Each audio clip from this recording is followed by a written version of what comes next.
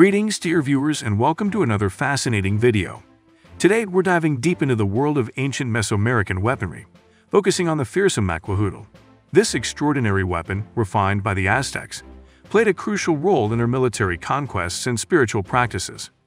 So buckle up and prepare to be amazed as we journey back in time to uncover the secrets of the macuahuitl. Long ago, in the annals of Mesoamerican history, ancestors of the Toltecs and Maya devised weapons to wage war and conduct sacred rites. Yet, it was the Aztecs who seized upon these primitive tools, perfecting the macuahuitl and enshrining it within their military doctrine. Nomads from Mexico's northwestern realms, the Aztecs founded their empire during the 14th century, swiftly conquering neighboring lands through force and shrewd alliances. And at the heart of their war machine lay the macuahuitl. Imagine, if you will, a wooden paddle both wide and long, stretching as much as 3.5 feet 1.1 meters, and spanning a breadth of 3 inches 7.6 centimeters.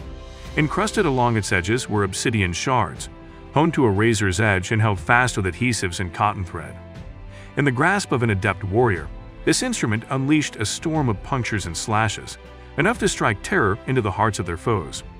Diverse in design, the macuahuitl's one-handed variant was complemented by the formidable Tepoztopilli a two-handed behemoth favored by high-ranking soldiers for its superior reach and might. In battle, the Aztecs wielded the macuahuitl with deft precision, closing in to strike enemies with both crushing force and razor-sharp cuts. The obsidian blades, able to cleave flesh and sever limbs, wrought havoc in close-quarters combat. Yet the weapon's significance transcended its military utility.